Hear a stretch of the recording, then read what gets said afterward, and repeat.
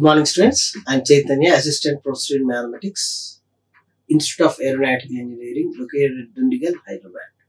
Today, my topic of discussion is maximum likelihood estimate, uh, which is a part of a third module, and of course, it is a part of fourth module also.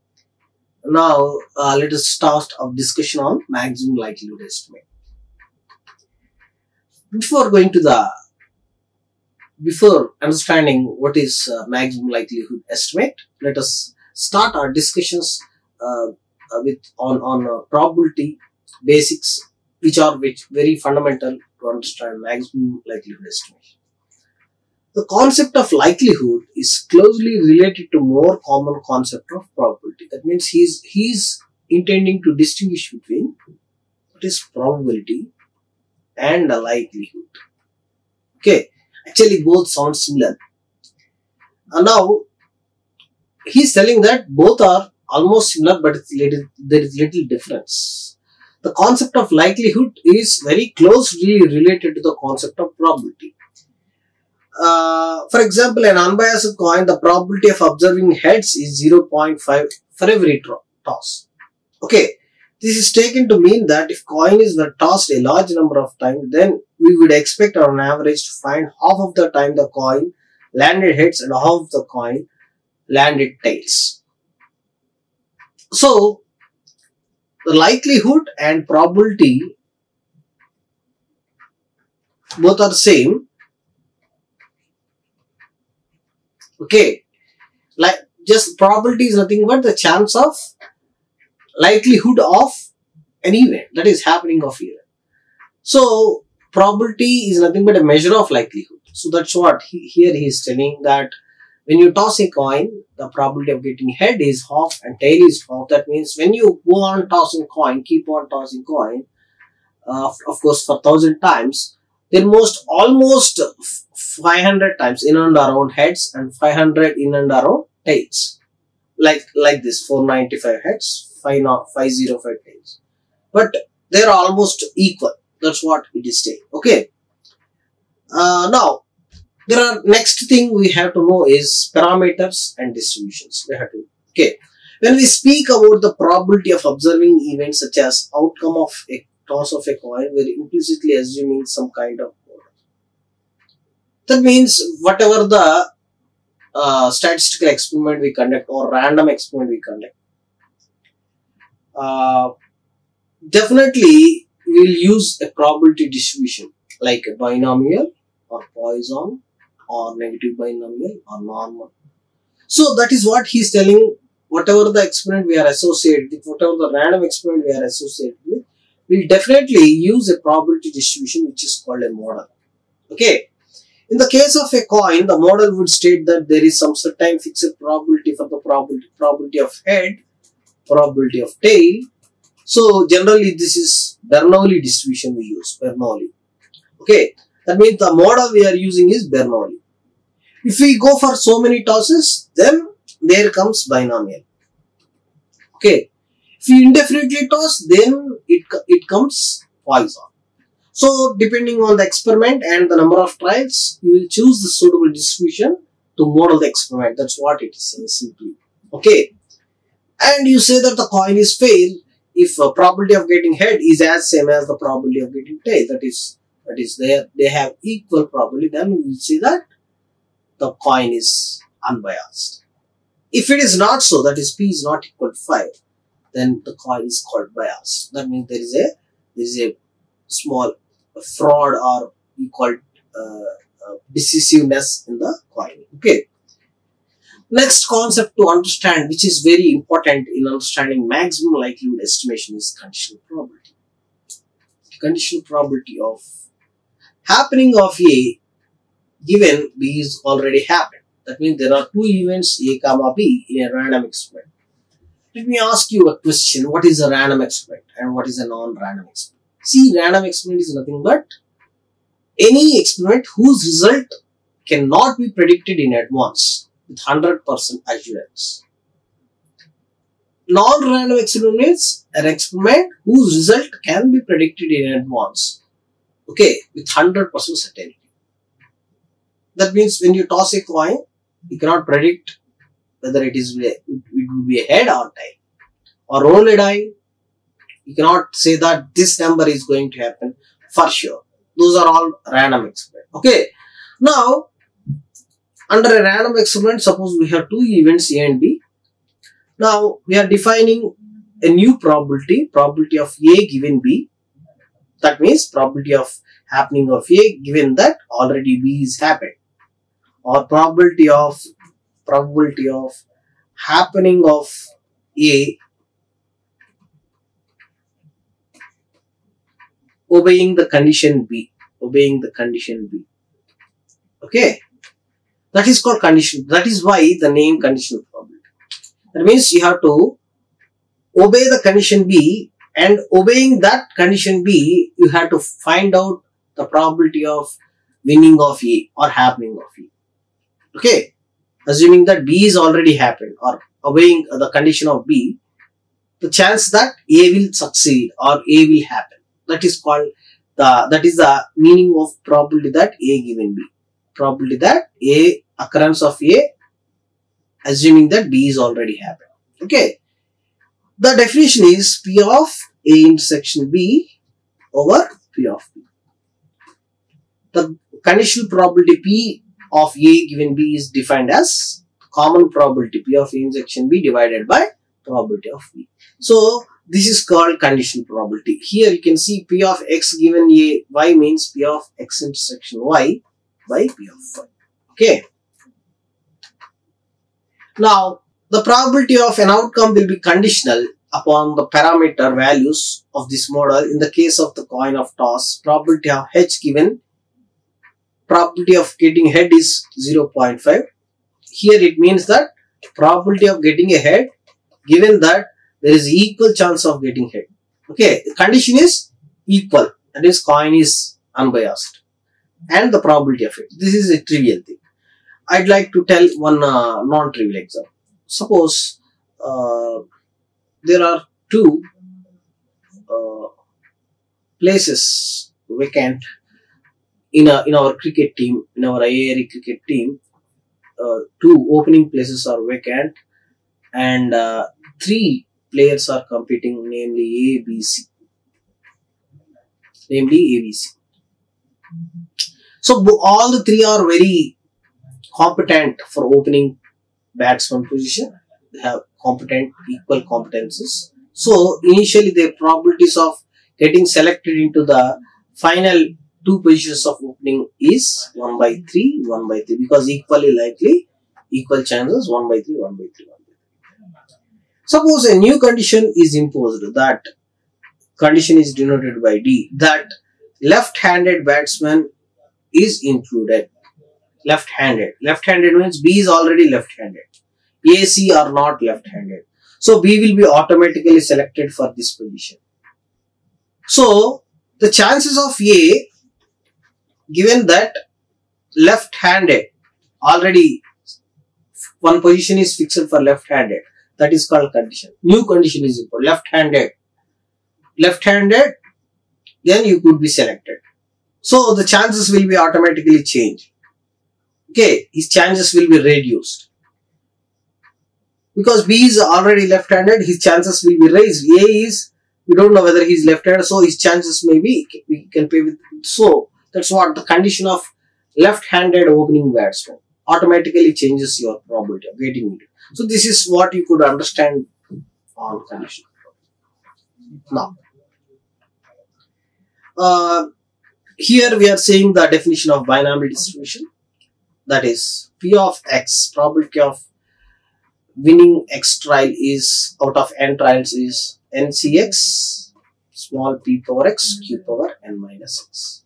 You know, Q is 1 minus P and NCR is nothing but n factorial by n minus x factorial into x factorial p power x q power q means 1 minus p whole power n minus 6. That is what written here.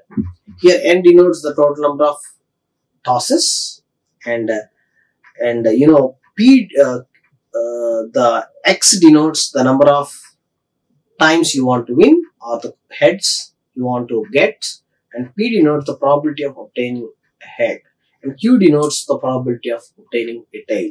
So in that way you could understand. Okay. Now what is the concept of likelihood? Now so far we have discussed the concept of probability and uh, some things related to probability like uh, um, what you call events conditional probability etc etc now we are entering the concept of likelihood in the case of data analysis we have already observed all the data. Once they have been observed they are fixed. Suppose we have a data and we have to analyze the data. The data set is huge. Of course we have to analyze. And we have observed everything in the data. That means it is fixed. Once we observe means it's fixed. There is no probabilistic part to them anymore. Because if you have verified everything you are very certain about the data. Okay? The thing is when the data is very huge you cannot you cannot penetrate it each and every part and you cannot see. That means it is then then there exists there is there arises the probabilistic rather means randomness probabilistic conditions so when the data is less and you could see each and every data point observed that means there is certainty there is no chance of probability but if the data is very huge you cannot penetrate to each and every corner then the you the necessity of probabilistic modeling arises okay we are much more interested um, in the likelihood of the model parameters that underlie the fixed data. So when we when you want to analyze the huge data by using a probability distribution, every probability distribution will be associated with parameters. Suppose binomial will be associated with the parameters n comma p comma q and Poisson will be associated with the parameter lambda and the normal distribution is associated with the parameters mu comma c thing is, uh, so whenever you model the data, to analyze the data, when you are modeling the data set with the probability distribution, you will try to estimate the, the parameters of that probability distribution. Suppose you have to estimate mu and sigma. Then only you can predict the values, missing data values. Then you can, if you know, if you estimate mu and sigma to the maximum possible extent, then you can use those mu and sigma to predict the values of f of x, missing features. Okay, that's what. So, we are much more interested in the likelihood of the model parameters that underlay the fixed data. Okay, likelihood. Likelihood means what would be the mu value, the best possible mu value.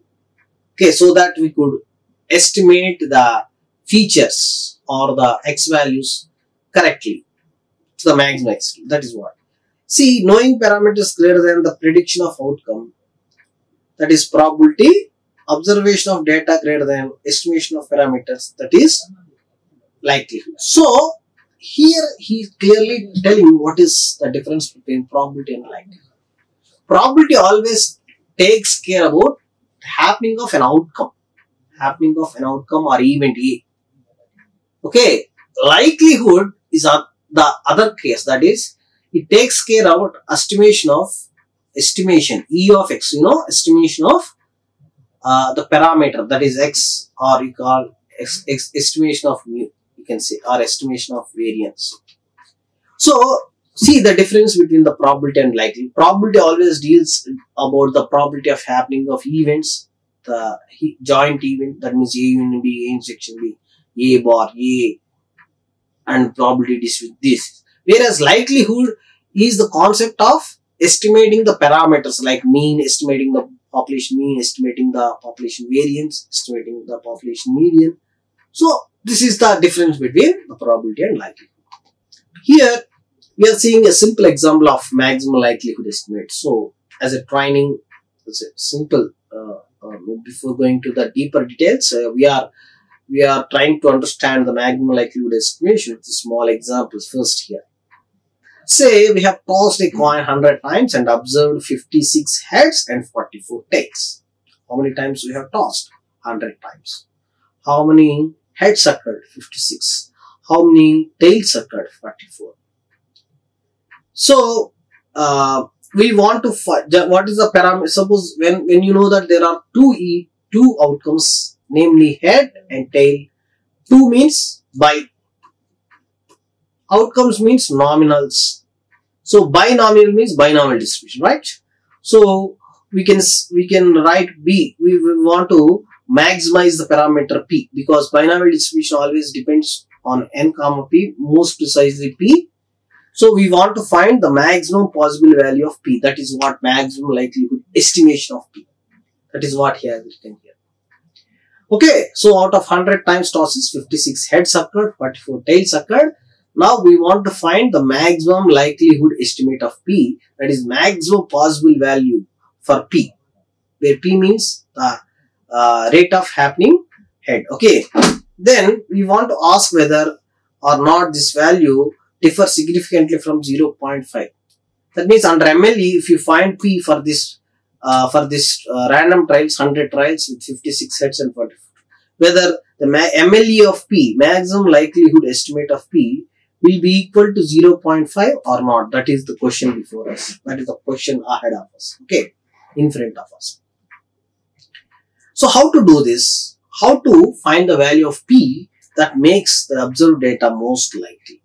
So how to find most likely uh, value of P? Okay.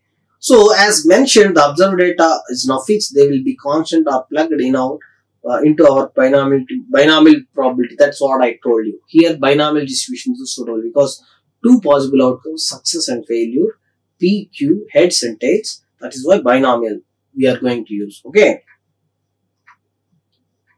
Now, here n is equal to 100 to tosses of coin and P denotes the probability of getting head or P is related to head and uh, Q is related to tail. Okay, now we want to maximize the P. See now,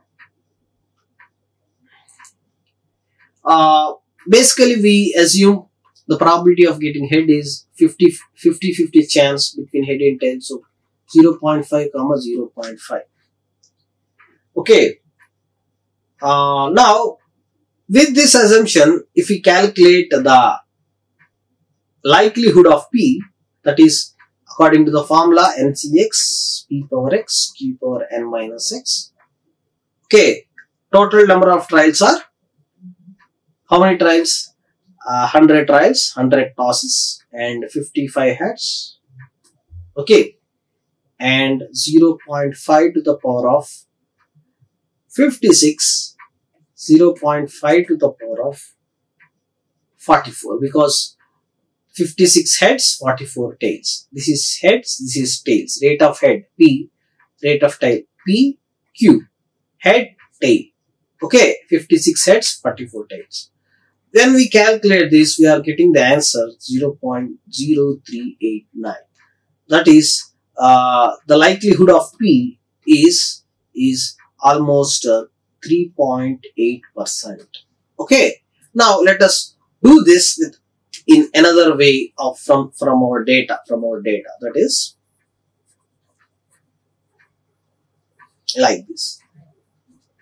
N is equal to 100 tosses among them 56 heads. So we calculate the p in this way that is favorable by total 56 by 100 that is 56 by 100 no no how many tosses? Or oh, let me check 56 sets and 44 yes. Okay. So 0 0.56 means 0 0.56 and q is equal to 1 minus p that is 0 0.44 here it is a mistake 0 0.44 okay right now by using the binomial formula likelihood of p will be ncx that is 100 c uh, how many heads we could uh, uh, call it as 56 heads 100 c 56 okay 0 0.56 over 56 0 0.44 over 44 that would be almost around 0 0.058 that is 5.8 percent. So see here by taking the usual values of head and tail 50 50 0 0.5 0 0.5 it is it is 3.8 uh, percent whereas uh, assuming uh, taking the real occurred data given sample data and calculating P with the help of Faro by total that is 56 and Q 0.44 we are getting 5.8%. So the maximum likelihood need not be equal to general general value of P that is general uh, expectation of P that is 0.5. Okay. That's what we, we understood from this example. So maximum likelihood need not be equal to the general mean of the distribution or general uh, mean of P, general value of P. Okay. Now, the maximum likelihood estimation method is an estimation procedure that given a probabilistic model estimates the parameter in such a way that they are most consistent with the observed data. That means, see, uh, when you are trying to estimate the mu, because you are uh, you are modeling a data set, a data set with normal distribution as u, and its parameter is mu. Okay, so you want to obtain the maximum, most likely estimate of mu. Okay, uh, so the maximum likelihood estimation method is an estimation procedure that given probabilistic model estimates its parameters in such a way that most consistent. That means the MLE of E of mu is nothing but the method or procedure such that the mu will be more consistent. What do you mean by a more consistent estimator? Let me explain first. See, you call an estimator x bar that is sample mean is an unbiased estimator of mu when when uh, e of x bar is equal to mu, that is expectation of x bar is equal to mu, then you call x bar is unbiased estimate. Okay. And uh, when there are two estimators like theta 1, theta 2 of mu, which are unbiased. That means there may be more, more than one unbiased estimator of population mean. Okay, theta 1, theta 2. And both are both are unbiased. That is, E of theta 1 is equal, E of theta 1 is equal to mu, E of theta 2 is equal to mu. Both are unbiased. Then we will take the criteria, that is next level criteria to check which one is more, more efficient. That is called efficient estimating. For that we calculate the standard deviation of theta 1, sigma theta 1 and standard deviation of theta 2 if sigma theta 1 is less than theta 2, then we declare theta 1 is the more efficient estimator. Of course, both are unbiased, but even then, standard deviation of theta 1 is less than standard deviation theta 2, then we call theta 1 is the more efficient estimator than theta 2.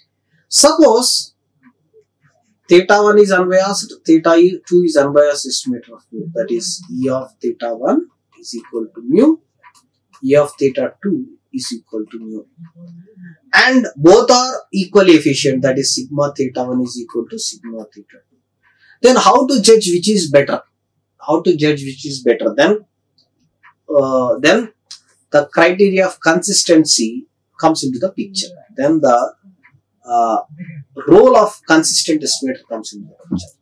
Then both are unbiased, theta 1 and theta 2 both are unbiased estimators of theta and both are efficient estimators of efficient estimators of theta then we look we look at whether uh, as n tends to infinity that means as the sample size as you are increasing okay the theta 1 n is equals to theta or theta 2n is equals to theta. That means you, you are going on increasing the samples. That is first you have taken this sample. Now the, you have increased the sample size, you have increased the sample size. When you are going on increasing the sample size, which reaches theta very fast, that is called consistent estimate. Suppose limit theta 2n is not equal to theta and limit theta 1 is equal to theta. Then theta 1 is called, theta 1 is called consistent estimator. That means as you as uh, big as the sample size, as uh, accurate as the estimation. That is what consistent estimation. Now, so this is now the thing is now the thing is it is very difficult in practice to find uh, whether the given estimator theta cap is a consistent estimator of theta. It, by using the definition, it is very tough to tell whether theta cap is a consistent estimator of theta. Then you will use the concept of MLE, maximum likelihood, to tell whether theta cap is consistent estimator of theta. Okay. Now,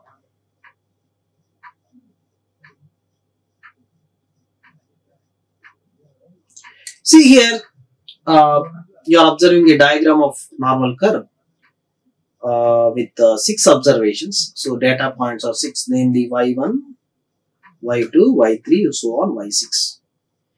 And uh, you have plotted y1, y3, y4, y5, y6. Of course, y2 is this is y2. I have missed right.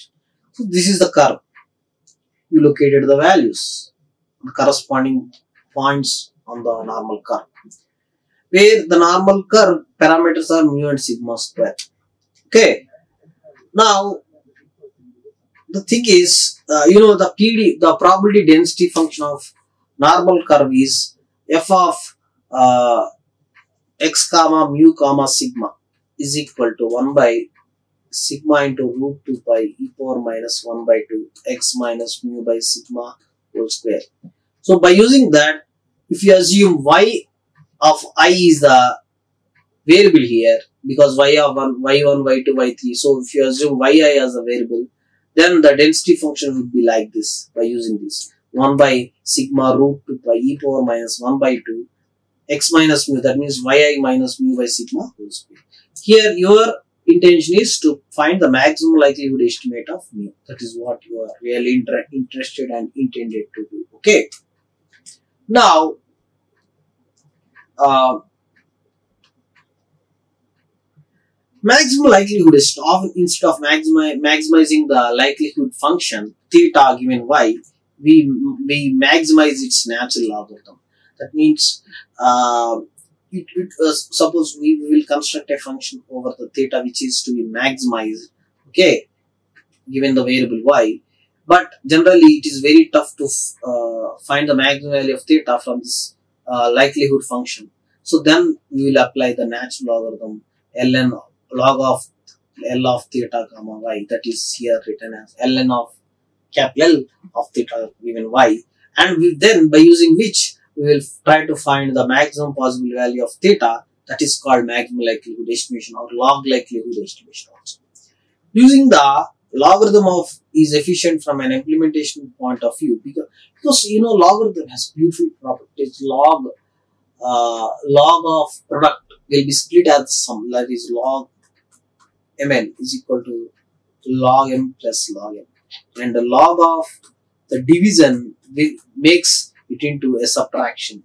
Log m minus log m okay and logarithm log m power n becomes m log m. That means the power it could makes simplifies the power as a product of two numbers. So these are the advantages of logarithm. That is why when we apply log onto the maximum likelihood function then automatically the mathematical process becomes simpler. The mathematics will be very simple. Okay. Now we will uh, in, the, in the practical purpose in the machine learning algorithm for finding ma maximum likelihood estimate of a parameter theta where theta is the parameter of a probability distribution which is modeled the data set and to analyze the data set and to find out the missing features. Then we apply a, re a repetitive process until we reach the maximum possible value of theta.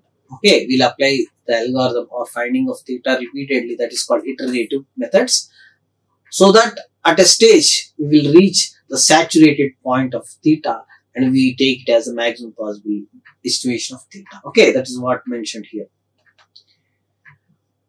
Now, here you have, you can see some good properties of maximum likelihood estimator. Uh, asymptotically correct means when you, that means consistent, you can say it is very consistent as you increase the sample size and it is, it is unbiased and consistent. That's what. So maximum likelihood estimator is always uh, almost unbiased or maybe little biased, not much biased. That's what you are saying. Okay. Even though some estimators may be biased, but they can be they could be consistent. That's what it is saying. So maximum likelihood estimator always guarantees the consistency and also efficiency. There are three things unbiasedness, efficiency, and consistency. So maximum likelihood may may not be guaranteed whether it is unbiased or biased, but it guarantees efficiency and consistency. That is why maximum likelihood estimation is the best process in estimating the value of parameter. Okay. That's what consistent. The larger than, the more accurate the estimate. That is, as long as the sample size you increase, as big as the sample size you increase, the as accurate as the estimation of the theta. That's what it means. Okay. Now, asymptotically efficient, that means it guarantees efficiency. I told you when sigma theta 1 is sigma less than sigma theta 2, you call theta 1 as the efficient estimator. So, maximum likelihood guarantees you the efficiency. So, what is the first property? Asymptotically correct means it, it, it gives you uh, um, consistency. It guarantees consistency. our second property, it guarantees efficiency. Third property, uh, the maximum likelihood estimate almost always follows the normal distribution. So the mathematical process would be very easy. So these are the three good properties. Number one, asymptotically consistent, asymptotically efficient, and asymptotically normal. That means the distribution of theta cap, the estimator will be always will be a reverse bell shaped. Okay, that's what it says. Now, the maximum likelihood estimation of the mean of Gaussian distribution. Okay.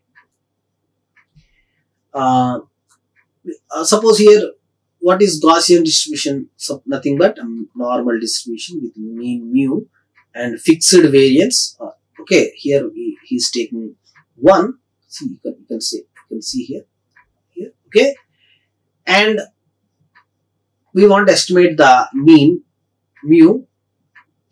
Variance assuming that variance is known that is sigma is fixed sigma is fixed as 1 we want to find the maximum likelihood estimate of mu. That is what our mission in this in this heading you could see. Okay. As a starting we are assuming only two point data two two points of data. That is x1 x2 that is why we have mu and sigma is fixed as 1 okay. And while values of y that is the data values are 4 and 6 okay. The shape of the pdf single random variable is uh, we could assume the shape of the normal distribution always would be like this. Normal distribution would be always like this. Because we are assuming that the pdf is normal distribution.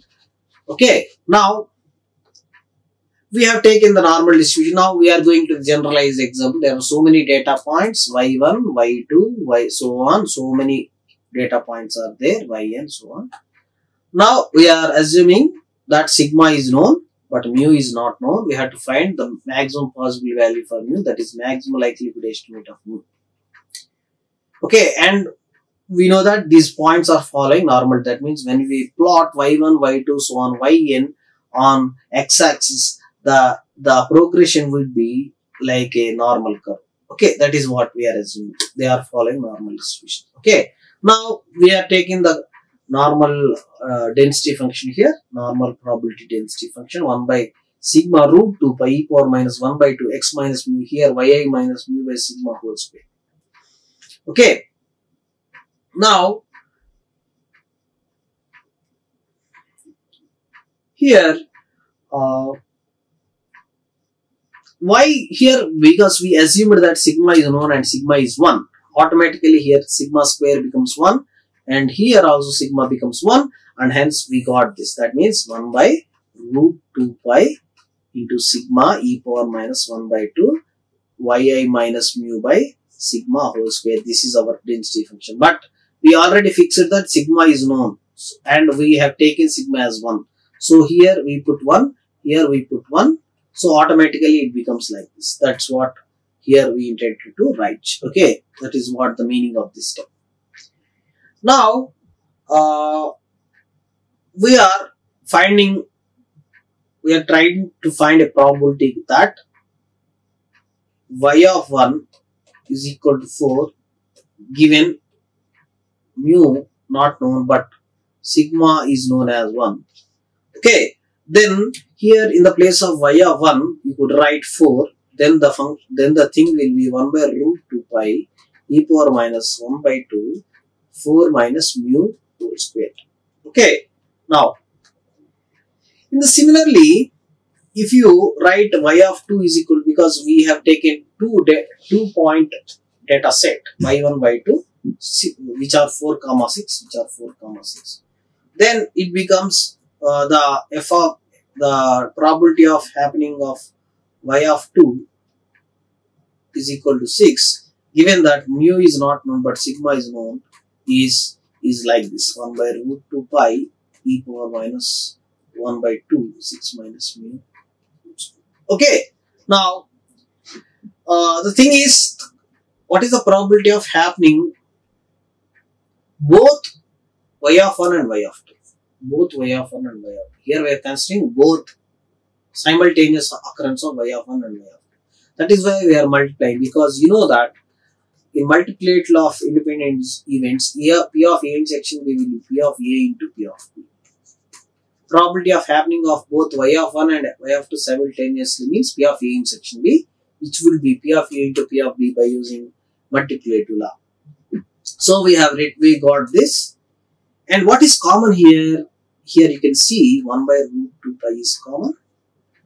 Okay, e power minus 1 by 2, 4 minus mu whole square into 1 by root 2 pi.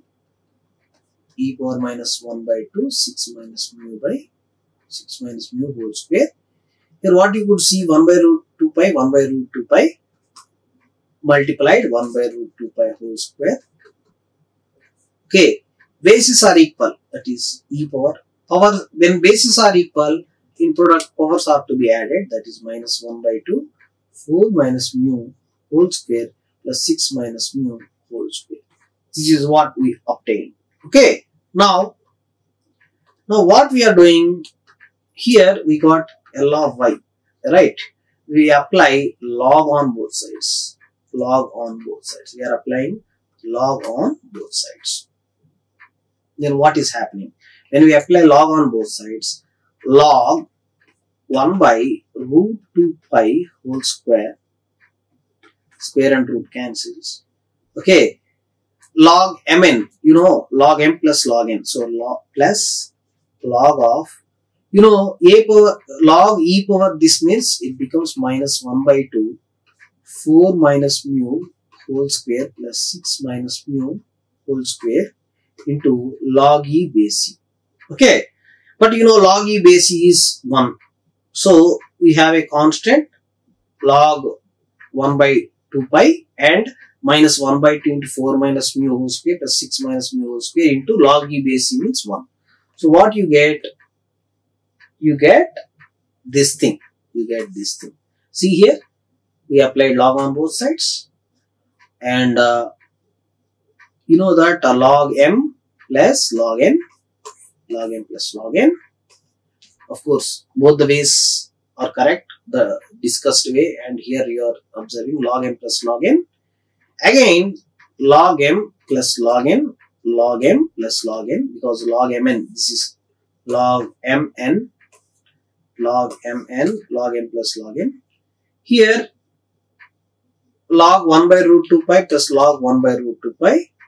So you could write 2 log 1 by root 2 pi here log and exponential cancelled log and exponential cancelled. So you got this minus 1 by 2 4 minus mu whole square minus 1 by 2 6 minus mu whole square. That's what you got okay?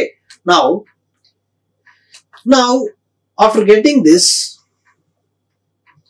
differentiate with respect to mu on both sides differentiate with respect to mu on both sides okay? What we are going to do we are going to differentiate with respect to mu that is dou ln of l by dou mu is equal to log of a constant derivative derivative of a constant 0 Here the derivative would be by using chains, chains rule 4 minus mu into minus 1 minus 1 by 2 into 6 minus mu uh, sorry 2 into 6 minus mu into minus 1 2 2 cancels 2 2 cancels. So answer would be 4 minus mu plus 6 minus mu the answer will be 10 minus 2 mu. Okay 10 minus 2 now by equating it to, to 0 10 minus 2 mu is equal to 0 that is mu is equal to 5 so the maximum possible value under uh, for this uh, two point data set where y1 is equal to sorry where y1 is equal to uh, 4 y2 is equal to 6 where the data is following normal distribution is maximum possible value for mu is 5 that's what we estimate. So this is the process of maximum likelihood estimation. So here in this example we have seen how to estimate the maximum uh, likelihood value of the parameter mu of a normal distribution which is modeled which is applied to model a given data set. Okay. So in this way we will first write the l that is likelihood function of mu. Then we apply the natural logarithm ln on both sides. After applying natural logarithm we will use log m and log m plus log n like that log m power n all those things. Then we'll differentiate it with respect to mu. After getting derivative we will equate it to zero and finally we'll get the maximum likelihood estimate okay? This is the process we generally use to okay? Now uh, so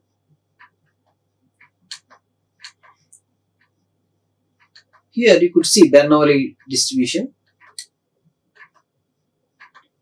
And uh, here also you could in the same way as I discussed about normal distribution you could calculate the uh, same way you could calculate the estimation of parameter of theta for for Bernoulli distribution just as I discussed okay.